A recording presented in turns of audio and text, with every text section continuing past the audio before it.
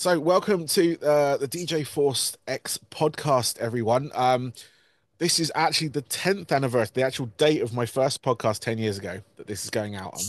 And I've got a very special guest on this show. Um, I have Ryan McCombs uh, from the band Drowning Pool. Um, and also, you will know him from Soil as well. Um, but we're going to talk all things Drowning Pool today. But um, yeah, Ryan, welcome to the show again. Yeah, I, I feel I feel like I feel special now. I'm like Yeah, on the anniversary program here. That's that's you, awesome. I, I appreciate you uh you spending your anniversary talking to my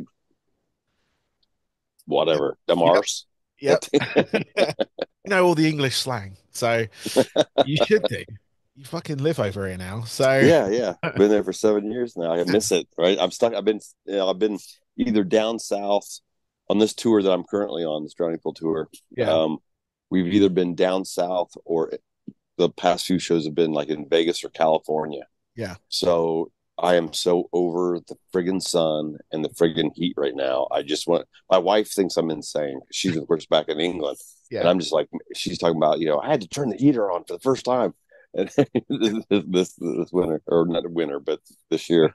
And I'm just like, oh, I'm so jealous. I just I just want to get back to my my English chilly weather. And I, I love I that's one of the things I'm I'm weirdo. I, I yeah, love the weather in England, so I can't wait to get back to it. yeah. No, I mean, I, I love the weather here as well. It's not, it's not. I mean, like I said before, and I used to live in Florida, so it was, you know, Oh, sun 365, Yeah, and humidity down there. Humidity and everything. So uh, I went back there about a month ago for the first time since we moved back as well. And initially, it's nice because you got all this heat suddenly, and it's like everything's bright and colorful, and you're in this like Disney bubble, and and Yeah.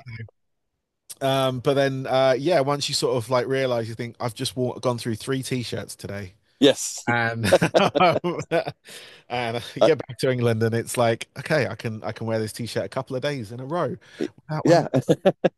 So um, I, I lived for five years. I lived in Louisiana, which is just on the other side of the Gulf from Florida. And um, it, it if I always said my my mailbox uh, from in the house I lived at there, the mailbox in that community was about maybe 20 feet away. But after you went to go get the mail, you felt like you needed a shower yeah, because you're it was just so yeah, sticky and sweaty and yeah, it just I don't miss I I love my my English. I always say English weather for people that live over here always say it's very similar to Washington State okay, and that that it's it, it, it's it's it's overcast a lot, yeah, but when it is pretty, it's it's pretty damn pretty. yeah, yeah, no, exactly. I mean, Yeah. at the moment, I mean, if it is, if it sounds like someone's taking a piss in the background, it is literally just the rain coming out the. It's rain right now. Hopefully, the noise cancellation thing on this this microphone should take care of that. But if it does, As it's not, it's not me pissing into a pot or anything. as oddly as it sounds, I'm actually jealous right now. But um, yeah, no, I mean, obviously, you're, you're over in the States with Drowning Pool. Uh, you're over in um, are you in California or Hollywood tonight? Yeah, we are actually parked right outside of the uh, world famous Whisky a Go Go, so that's where we're playing at tonight. that's amazing. That's a, I mean, I've never been to that venue, but I'd love to. It's obviously legendary. Um, It it is a great place, man, and I really respect it. So I don't mean any, any disrespect towards it whatsoever, but it's very similar to a lot of your U.S. and it, it, it's pretty much the same worldwide, but especially in the U.S., it seems like you're really famous, uh, like historical venues. It's like somebody somebody didn't want to run the sweeper for fear of destroying some sort of sentimental value because they're usually some of the some of the uh the whiskey the whiskey's one of the nicer ones of it. Yes, yes, but but a lot of a lot of your historical you know venues that are still around here in the states are are, are pretty uh yeah, vintage let's yeah. they're very vintage they're very Yes. That's a very good word. It's a very British word. Um, but yeah, I get you. It's uh, it they they they don't they, yeah they don't clean as such. It's very yeah, I should, you know, the more I say that, there's like last time I was at the whiskey, they did redo their dressing rooms and it was awesome.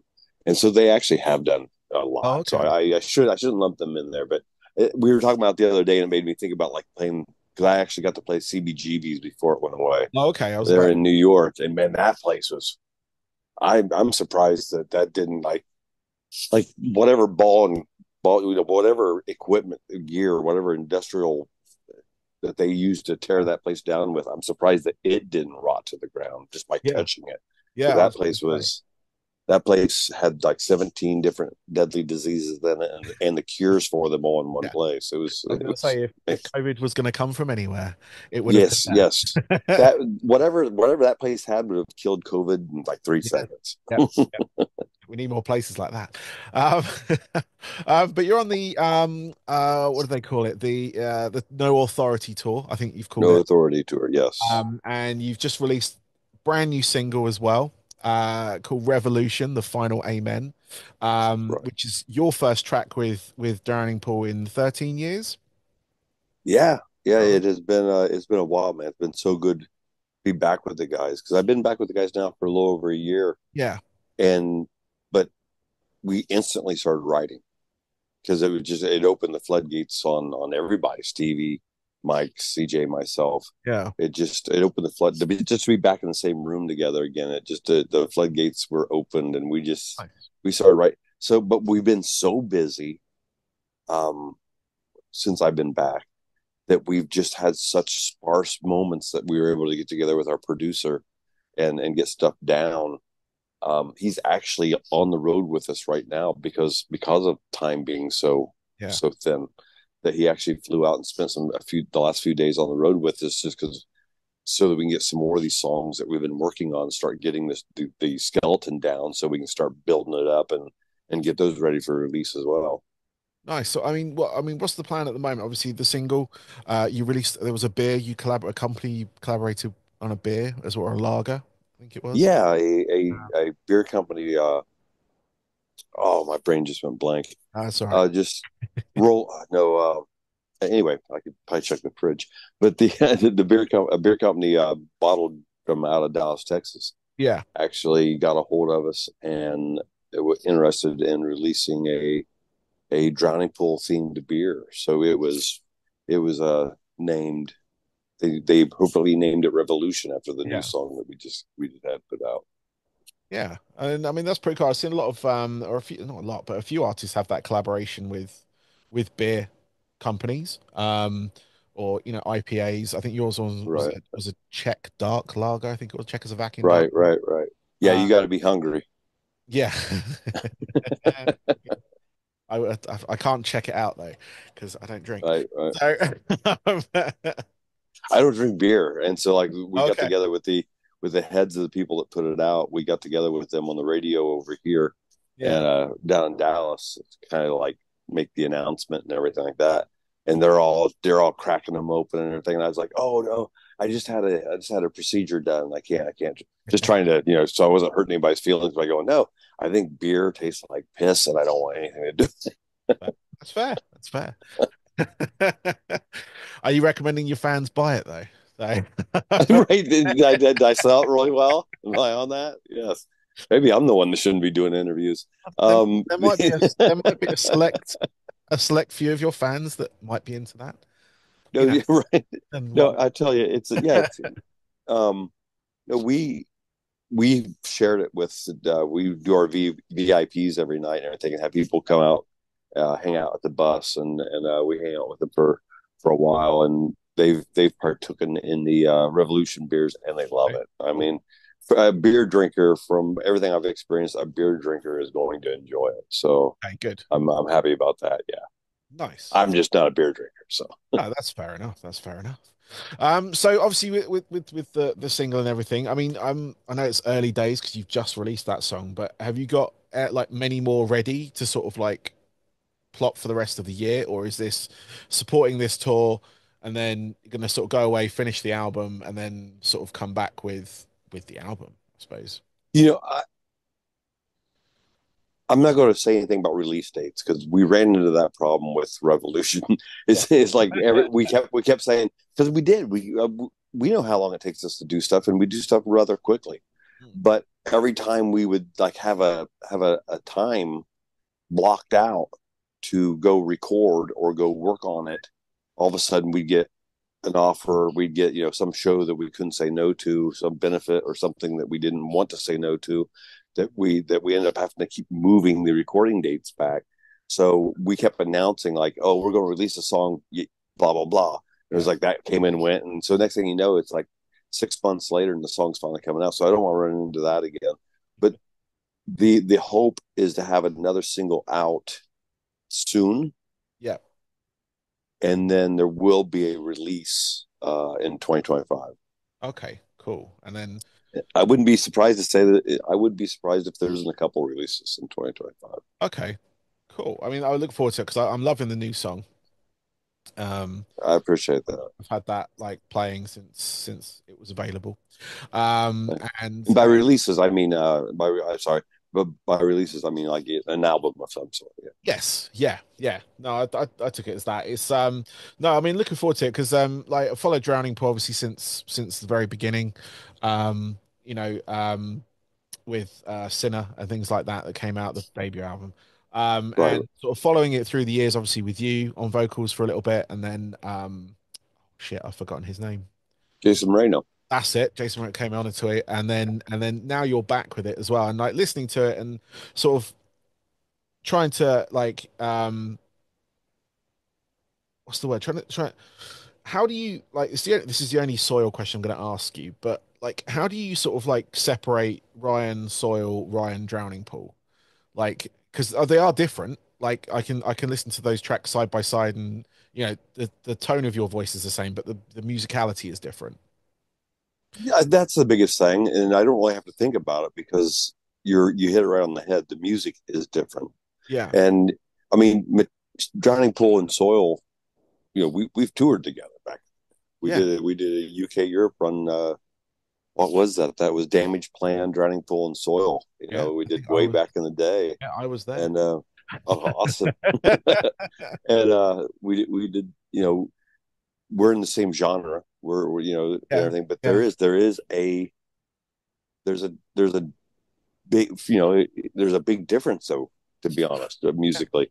Um, I I write differently to the two different bands. Um, just for that fact because yeah. the music is different. So therefore, uh, sing probably like you said, tone of the voice is never going to change. I, I, got I got a window about that big, so I don't have very far I'm going. Um, but the uh, but I am because of the because of the music being a little different. Um, it does it does accept a little bit more melody uh, Drowning Pool music does. Yeah, a Revolution Revolution is not necessarily a good uh, a good release to have out there right now. Talk about melodies because it, it's pretty uh, it's pretty straight in your face.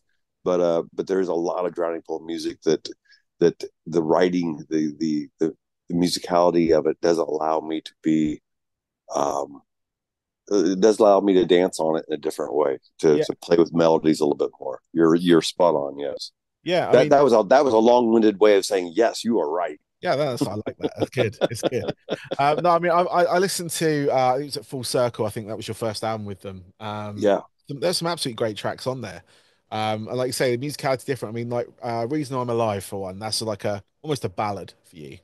Um, yeah. in that respect. Um, but you've got you know tracks like "Enemy," and then you got the ones uh, you got one uh, called "Soldier," I think as well, which is obviously for the troops.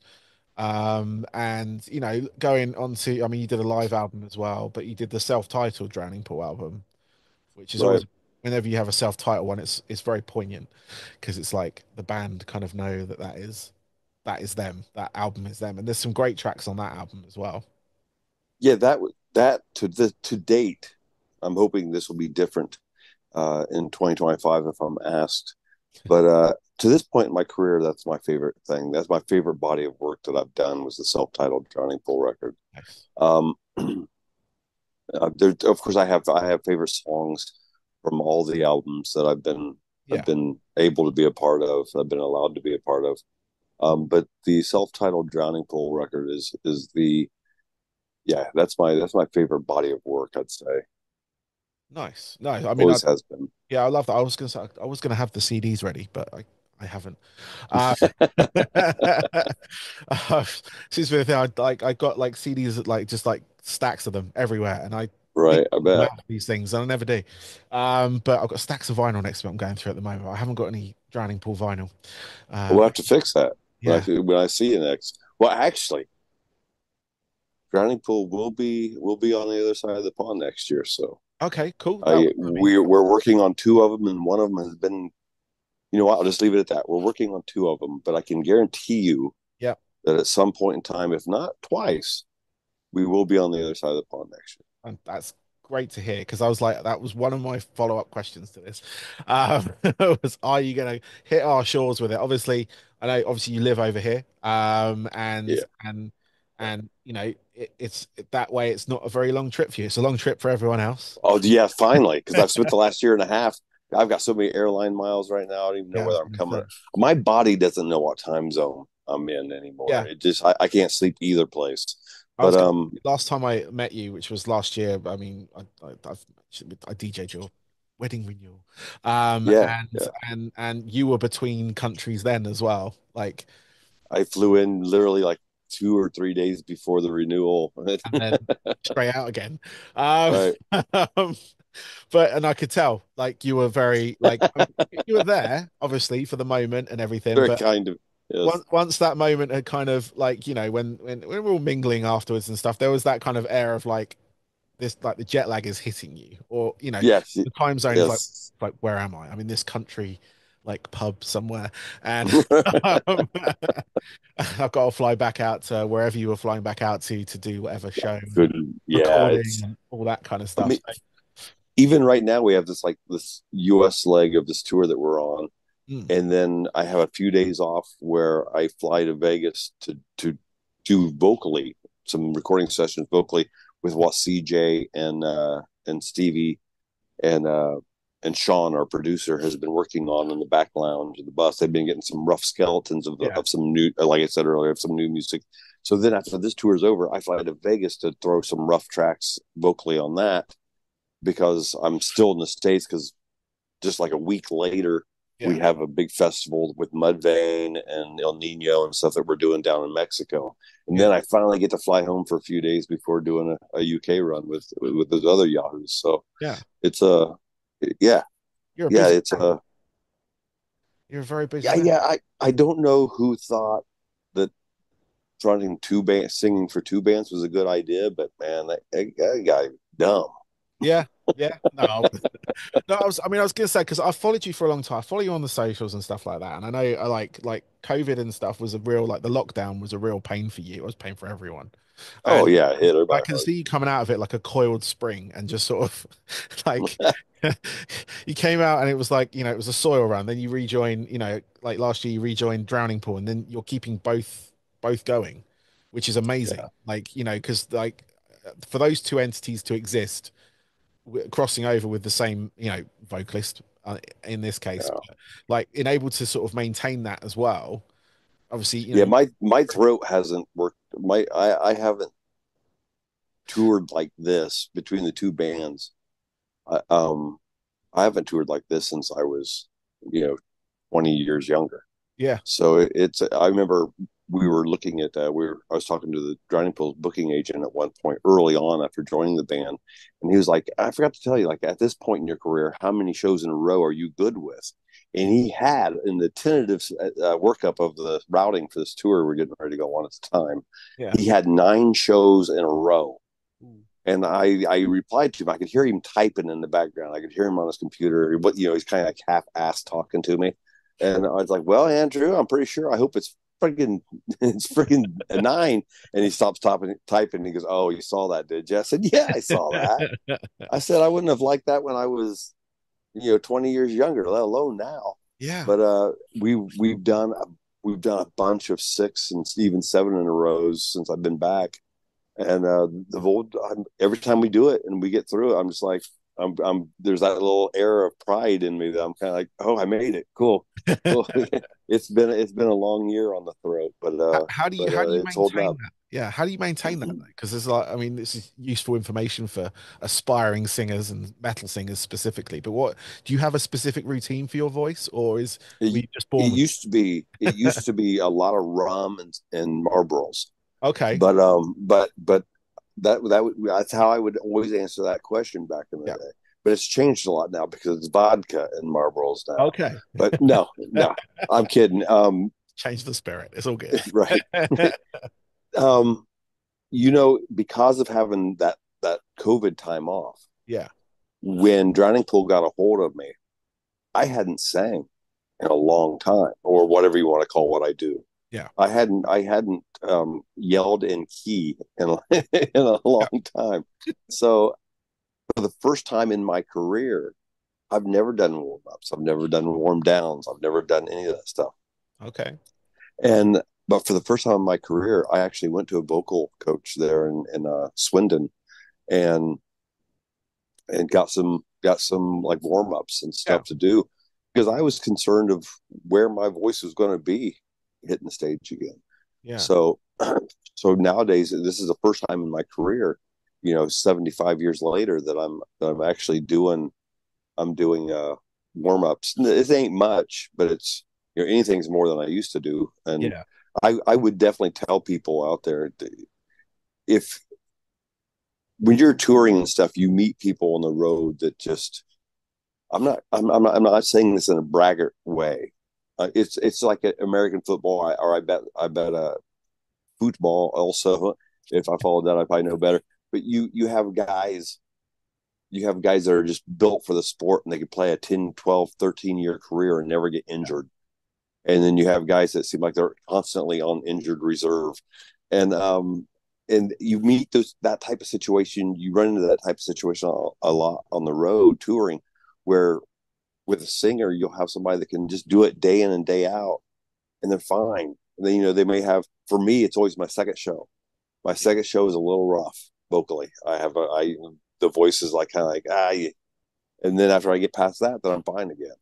Yeah. But um, but you run into people that are constantly having to cancel shows or postpone shows or or they use a lot of tracks or something because their voice just can't hold up to the night in and night out that the, the touring will do. I was always blessed, thank goodness, with the ability just to, you know, back in the day, drink my rum, smoke my cigarettes, go do my thing, and go to bed and wake up and do the next thing the next day, and and do a, a year's worth of that or whatever for a for a touring cycle, and, and never had a problem. Um, but this is the first time that I've actually been smart enough to realize that there will be a day yeah. that that the, it doesn't work anymore. So just trying to squeeze as much out of it as possible. Yeah, no, fair is, is, as long as people are allowing me to do it, which is the number one thing. I mean, yeah. it, it's amazing to be at this point in my career and people are still giving me the time of day and allowing me to do this. So as long as they're allowing me to do it, you know, I I, I need to be smart enough to take the little precaution, the little eh, you know stuff that I can to try to make sure that I'm able to take advantage of their kindness. Yeah, no, definitely, definitely, and it, it's I mean it's testament to sort of like the longevity of, of the career you've you've had so far. You know, it, what, what we're looking at now is like twenty plus years within. Yeah, yeah, you know, yeah, yeah. Sort of professionally, yeah, it's yeah. been uh, jeez, because I technically signed my first deal in '97. Okay. With, with uh, with yeah, that doesn't count. We'll go with 2001. 2000, 2001 was the, the major label crap. So we'll, we'll stick yeah. with that. Yeah, I mean, and it's you know you've managed to keep it going. Like you say, a lot of metal vocalists, especially ones that I've known. I mean, I I I was doing vocals in in in a band for a long while as well, and and like I didn't know what I was doing to start with. And like one day, I was like, you know, playing I play like the first show. Next day, I didn't have a voice, so I had to figure out a way of right. Like, you know, um, figuring that out. And and and I, you know, vocal um, coach, which was mm-hmm. great. Um, that helped me sort of like learn how to control the the heat, if you will, the, the screaming part of it, and right in the throat, and also with um, things like uh, like Vocalzone lozenges and stuff, which kind of just like numb the throat a little bit. Um, so you like you were smart about it. I, that, that that would be my that'd be my advice for anybody anybody getting going or even if you've been doing it for a while and, and if yeah. you haven't visited a vocal coach, you may hold on, you may grab one thing out of the laundry list of stuff they tell you of do's and don'ts and try this and try that. You may hold on to one thing that works for you.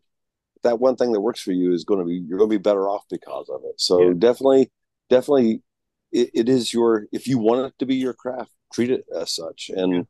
and, uh, and, and go talk to one of these people that know that, yeah. that one little thing might buy you another couple of years and do what you love to do exactly it. Otherwise, you could just fade out. Well, not fade. Yeah, fade out. Literally. Yeah. Talking with a voice box your throat after a right, while. right. Um, but yeah, um, no, that's uh, no, it's obviously that, that you know that's great advice for for for vocalists out there and stuff like that. Even like you know, like you said, the first part of your career it was literally drinks and smokes, you know, and and you kind of got on with it. But now you realize that you know, in order to keep this going, you know, there's there's there are people out there that can kind of give you the, the helping hand if you will. Yeah, and I should, I shouldn't, I shouldn't be like drinks because I mean I didn't even start drinking until my 30s. So my whole first run with soil, uh, from '97 to to 2004, I didn't drink a drop. So okay. I, you know, I just, but I did. I've always been a, I've always been a slave to that stupid tobacco company. So yeah, they'll get you. They always do. Yeah. it's the American way yeah, now nowadays it's great because nowadays I don't I don't even think about a cigarette unless I'm on tour. Like when I'm home and, and with the wife and and mm. and uh, family, I don't even the thought doesn't even cross my mind. But as soon as there's something music band related, well, as soon as I get off the airplane back wherever it is I'm going to, I I'm sparking up like a dumbass and, it's, and having a cigarette. Yeah, it's the it's the stress trigger. That's what it, it is. It stresses you out. It's like I need to get get some more time with my wife so I can buy a couple more years of living.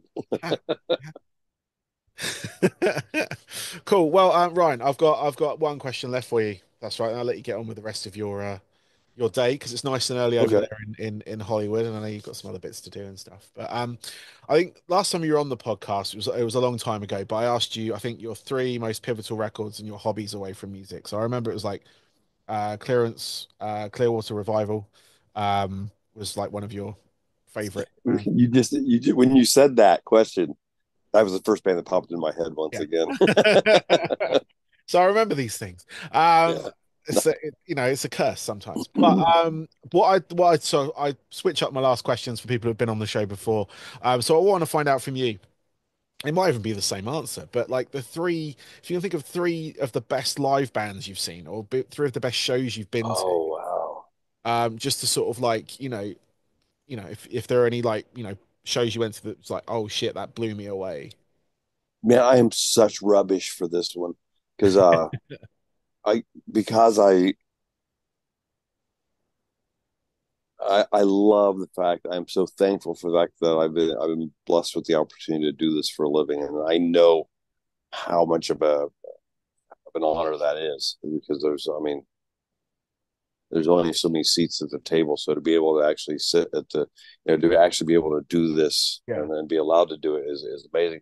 But at the same time that I say that, the reason that I that I that I'm saying that first is I when it comes to a day off on the road or something, and it's a day off for me. If okay. if we're no matter what tour I'm on, I hardly ever get out to really see many of the bands that I'm on tour with because I just you have you have that moment on stage that is like the greatest moment of your day uh, when you you you get to share some time with the people to come out to the shows, but at the same time, I, I need some quiet the rest of the time. I need I need some some time away from the the uh, chaos and the yeah. and I can't I can't watch shows like I used to because nowadays when I do go see a show, I find myself watching the crew a lot of times. Yeah. Like I'll see somebody on stage and I'll see that there's some trouble. Maybe there's some an issue with a mic or maybe there's an issue with their instrument or with the monitor and i can tell by their body language what's going on and i'm looking around to see if any of the crew guys are seeing this.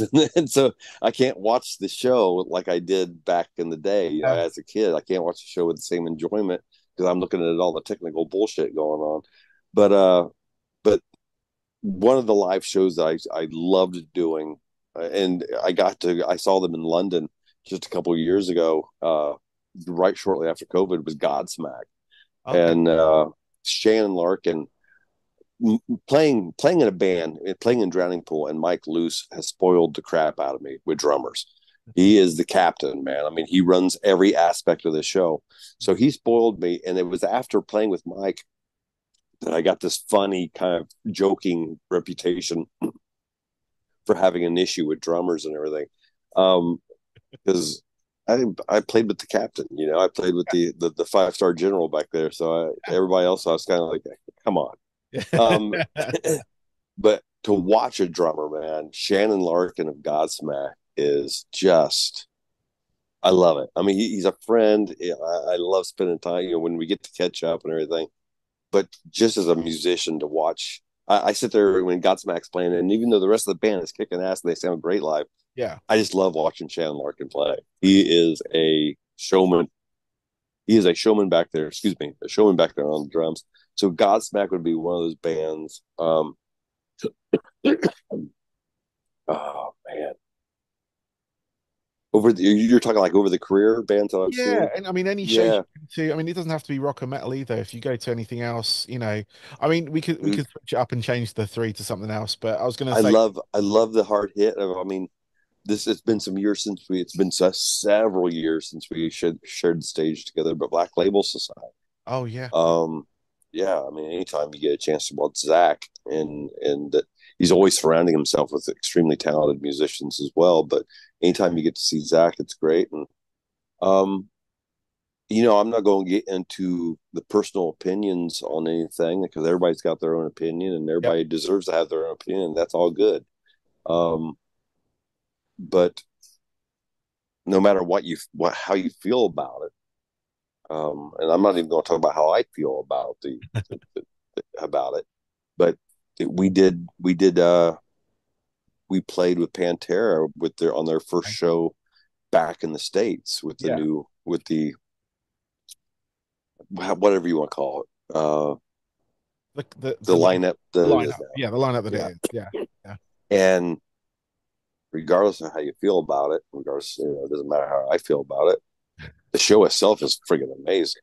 Yeah, I mean, they sound great, and they're definitely there's definitely a, a uh, definitely bringing it as, yeah. as far you know definitely definitely giving people that of, of newer generations that didn't have a chance to see Pantera back in the day they're, they're giving them a taste of that yeah. you know it'd never be the same without the brothers no. but um but they're giving them a, a taste of what a lot of us were lucky enough to grow up with yeah and um uh so yeah that would be that'd be my three real quick Godsmack uh BLS and well, Zakk got in there twice. That little sneaky. He get in there twice. Yeah.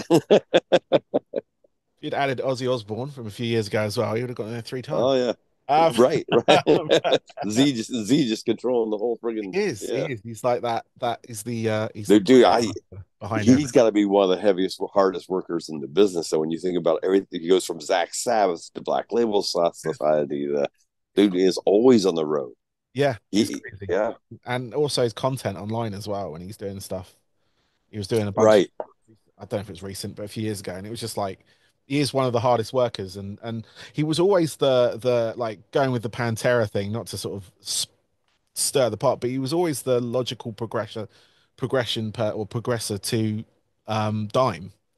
Like yeah, he, the, the relationship. I think that was a that was an easy when you would when you thought about like who could do it who could do it well yeah and who would do it with their heart in the right place he yeah. was like the uh, the number one because of the relationship he had with them so. yeah exactly i mean even before vinnie unfortunately passed away it was like it, there was always rumors that you know they were talking but it was always Zakk Wylde that was the the the right the person that was going to come in and and and play so um i feel with uh, whatever's going on with this current current run they're doing at the moment it's sort of it, it's you know is a tribute to what was before. I was, I'm going to say, right. I wasn't. I, I saw them live years ago back in London, and and it was one of the worst shows ever.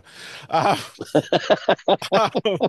but I I still like I watched their like home videotapes and stuff like that, and I saw their right. live like live shows they had. Like, but I mean the problem I I mean the problem um was that um uh, Phil was just totally wasted at the show. Oh, literally, and it was a mess. Like, I mean, the yeah. band sounded solid. Don't get me wrong, but it was just a bit of a bit of a letdown. Like, I hear you. After kind of, you know, but that was why. Absolutely. It, kind of left that impression. I mean, I never got to sort of obviously see them in that lineup again. Um, right. You know, um, but I saw, you know, I saw Damageplan with you guys. Um, so I got yeah. Vinnie again in that in that respect, and um, and I think I saw Rex Brown in something as well. He was in a, I can't remember who it was. He was playing bass for someone, but separately. Yeah, he, like, he yeah he dabbled in several different little things, jumped on different runs for different bands. Yeah, yeah, yeah. He kept busy, and it was um, you know, and it was just it was just one of those things. But you know, like with the current one, I was like with um, what was it fucking Linkin Park at the moment? You know, bringing right. I mean, kind of, kind of like yourself. You kind of came in after a band member unfortunately passed right. away. Yeah. And and and you know, and then there's like suddenly, I mean, these if it happened like today, maybe it would have been different. Like, but the vitriol that band got, like like Pantera got, you know, it's just kind of like it's crazy, you know, in that respect. Just like the, the sort of, and it's supposed to be an, an experience. You go back and it's for the generation of people that missed out not necessarily Dude, so long-term fans. You know, the the the the the social media sucks. Hmm. You know, social media is cool because it, it has given us all a way to to stay in contact. But that's pretty much where the the coolness of it stops. Yeah, you know, people people are so. there's so much negativity. I mean, TV show people criticizing TV shows and movie all, all anybody's got to say about anything anymore is negative shit. It's just like, man, it just you jump on social media nowadays and it's just it's a bummer. Yeah. And uh and then and then you got people with with the politics and I mean it it's very you know the the they think they're making a difference by posting some stupid meme on on friggin' social media instead of actually doing something about the the issue. Yeah. And then if you get over here in the states, if they actually do do something physical, some stupid rioting or some horse shit like that. So I mean, it's but yes, social media is just the man. If I could go back in time and you know, there's that. Uh, what would you do if you go back in time and you know I go kill baby so and so so this didn't happen or whatever. My my thing would be I would go I would do whatever I could to make sure that social media never existed, so that you would walk into a restaurant and you wouldn't see a family sitting at a table with everybody with their faces and their phones and they would families would actually be communicating again yeah. and uh, and people would be communicating again and, and, not so quick to be tough and talk shit on the social media yeah, yeah. Yeah. anyway, my, I ran. No, no, I, I, went off on a rant. this is great. um, but no, I mean, like, I totally agree. It's it's like there's there's people think they have anonymity online or they have a right to say. You know, there there is that element of you do have a right to say. You know, the whole free speech thing. But there's also there's consequences to that free speech. You know, and and a lot of people don't don't have that like that that barrier of of um it, trying to. You know what I mean? It's just yeah, it, it's it's very it's a very cool thing, and if for used in a business sense, like to, to communicate, um, whether it's to spread the word about podcasts, whether it's to spread the word about tours, shows, to to use it to advertise something that you're doing, or not advertise, but to at least let people know that it yeah. exists. It's invaluable in that sense. Um, the fact that they have a new record coming out, whatever the case may be, it is it is a way to allow people that want to know to know. Yeah. But at the same time, it's also such a disgusting, ugly friggin' creation that it's it's a on a social level that uh yeah yeah if I I I, I go back in time and take care of that yeah few babies that are going to go missing um but yeah no I mean Ryan uh, I will leave it on that. But yeah, no, thank you very much. I, I appreciate your time on this, and and obviously you know you're on you're on tour with with Drowning Pool at the moment. So anyway, my friends in the states, you're currently at, Whisky tonight. Uh, this Whisky, until, uh, this won't go out until Tuesday, so this may not hit in time for any of the dates. I'm gonna have a quick look to see what your dates. Yeah, we've got we got two more weeks. You got two more weeks. Okay, cool. Yeah, I got right there. Anybody just take a still shot and zoom up on that. there you go. Perfect. Um, but we can check it out, and obviously, you know, um, you guys coming over, back over here next year, that's going to be fantastic as well because there's this whole yeah. like kind of I say resurgence, but of of that kind of sound, that era of of metal um, that you were quite pivotal in the nu metal. If you let me say, uh, let me go back on that on that comment I made about Drowning Pool in the UK, and let's say that if I'm allowed, if I'm allowed to say that it's hundred percent guaranteed then I am saying right now that it's 100% guaranteed. But if for some reason I'm not allowed to say it, then I never said that. Okay. All right. it's fine. We'll, we'll let other people sort that out. right, right. There's there's there's people getting paid for that. Exactly. They're the brains. We just we just try and help with the Yeah, just just go yell monkey. know. That's Yeah, yeah, exactly. Um, but no, I mean, uh, like it's fine. I mean, I know you're going to be in the UK um next month with with your other with your other projects, um, and that's a heck of a tour as well. So I'm hoping that you know with the Drowning Pool as well, like this is kind of reliving my youth to a certain degree. Like nice. I was sort of mid to late 90s in the UK, or even further than that, you know, going to London all the time and seeing all these bands. I got to see like, you know, Deftones when they first come over here. Um, Limp Bizkit were like opening, no, they weren't opening, they were main supporters of Soulfly and stuff like that. And it was just like Awesome. seeing all these bands and then seeing you guys um, when you were sort of blowing up over here as well. Um, and even playing your your music at my nightclubs that I DJ um, and stuff like that. And people still sing along to those songs. You know, Yeah. Thank goodness. You know you've you've kind of you've you've made these songs that are kind of living living on uh in the Yeah. you know and people know them generations of people know them and stuff so I've been I've been I've been really lucky to play with a lot of good musicians and uh and uh and like I said before, at the end of the day, just a lot of people out there. Mm. Beautiful thing. A lot of people out there still allowing us to do what we do. So taking advantage.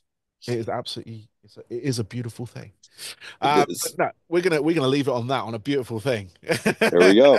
Thank you so much for your time, man. I really worries, appreciate it. It's good talking to you again. I, I, Yep. I appreciate it. yeah no problem it's all pleasure it's all over here for this and um yeah um good luck with the rest of your tour and i'll see you in england uh next month All right, you save some of those gray skies for me now. oh well don't worry there'll be plenty All right, you take care. Cool. thank you man bye bye Bye bye.